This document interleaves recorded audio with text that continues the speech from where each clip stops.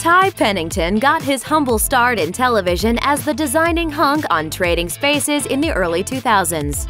For a while, it was impossible not to see Pennington on television or to hear his interior decorating advice. But after two hit TV shows and several best selling books, the 52 year old handyman virtually disappeared from the spotlight.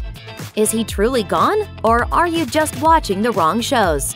Here's a look at the real reason you may not hear from Ty Pennington anymore. Extreme Makeover Home Edition ended. After an astounding 202 episodes, Extreme Makeover Home Edition was officially canceled by ABC in 2012. The show, which grew to tremendous fame, tore down and rebuilt economical and sustainable homes for deserving families each week. Pennington told Parade that the show changed the way he views life. Quote, I think what Extreme taught me is that as an artist, what you create with your hands has a lasting difference and actually makes someone's life better.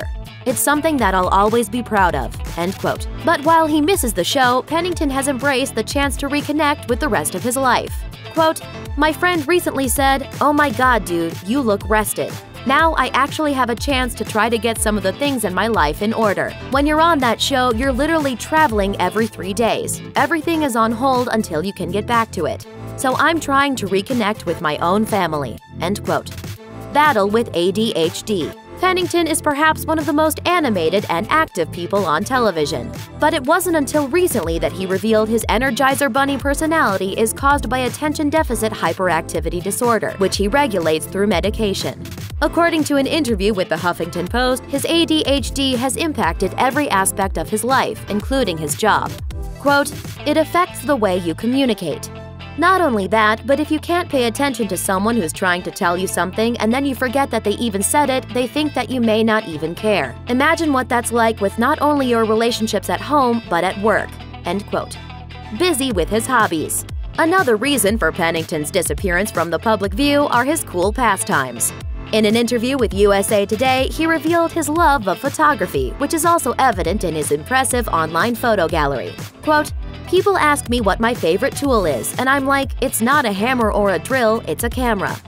I shoot everything, I document everything. We've all become human selfie machines. End quote. And when he's not taking pictures, he's making music with his vast collection of classic instruments, which he prefers to digital. Quote, Honestly, the way music has become, I think there's things about the old world you can use in the new world.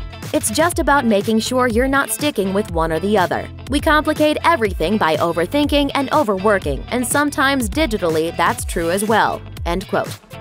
The revolution was no longer televised.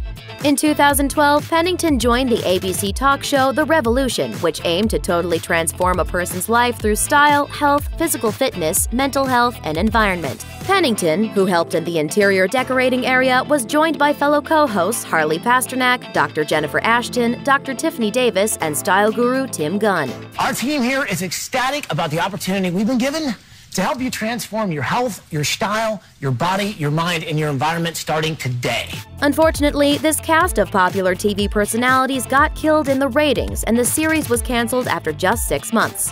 Gunn told USA Today that, unlike Pennington, he was thrilled to see the show end. Quote, to be perfectly honest, it was a matter of too many cooks in the kitchen, too many ABC executives with too many different points of view.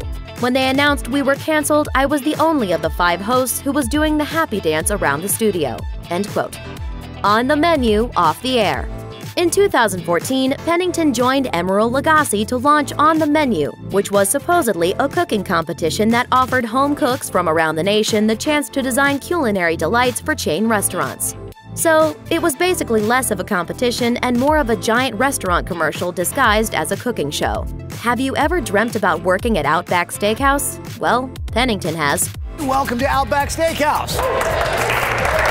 Working with Outback Steakhouse, sort of a dream. Do you have any deep, meaningful memories about the California Pizza Kitchen? You better believe that Ty Pennington does.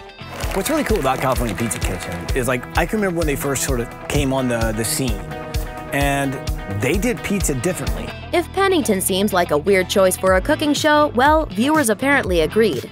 Despite his clear enthusiasm for food, the show was canceled after just 10 episodes. Then again, maybe if he had tried feeding the contestants from his mouth, and if the contestants had also been squirrels, he might have gotten better ratings. Pennington's Patio Furniture. In 2013, Pennington brought his first class designing skills to Sears. He teamed up with a big box store to launch his very own collection of outdoor patio furniture. It was the first time Extreme Makeover Home Edition fans could get their hands on a piece of style created exclusively by Pennington. And he even got to do a backyard makeover as well for one lucky family. My work here is done, my friends.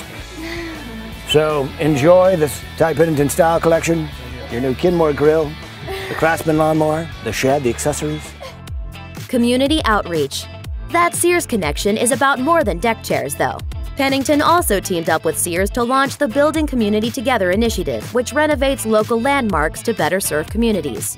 At the start of the project, Pennington lent his handyman skills to renovate a 100 year old church and three homes in Tampa, Florida. Pennington told DoItYourself.com, quote, People are trying to bring jobs back to the community. It's not just happening here in Tampa. We're going to hit Chicago, Sacramento, Philadelphia, and we have the entire year to do other projects in the community. I love doing what I can, giving back to the community. End quote. Food Network gig. In 2015, Pennington got to combine both of his previous TV jobs when he and Amanda Freitag became co hosts of the Food Network's American Diner Revival. Together, they travel across the nation to renovate diners, with Freitag working on the menu and Pennington handling the design aspects. Pennington views it as his patriotic duty. What is really interesting about the show is diners, you know, they are the ultimate American icon. To date, two seasons of American Diner Revival have aired. So if you've been wondering what happened to Ty Pennington, it turns out you might simply have been looking for him on the wrong channel. And if your cable provider doesn't include the Food Network, well, don't worry. You can always find him at Sears. Thanks for watching! Click the Nicki Swift icon to subscribe to our YouTube channel. Plus, check out all this cool stuff we know you'll love too.